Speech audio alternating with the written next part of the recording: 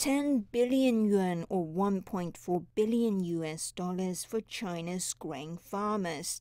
Officials say they hope the cash injection can bring new advancements in the sector. We encourage the planters to select and plant. We also demonstrate and promote new varieties and new technologies. The government says the subsidies will be allocated to actual grain growers, including individual farmers, large scale farming on transferred lands, family farms, and farmers' cooperatives. Agriculture enterprises and related entities will also benefit. It's also part of China's strong focus and investment in food security.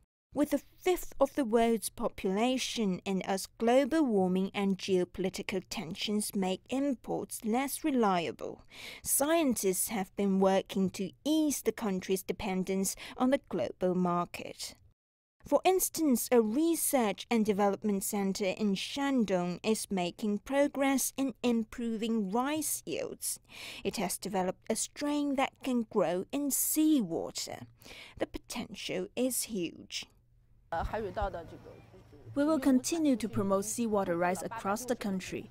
It's estimated that we will have more than 66,000 hectares of seawater rice by the end of this year.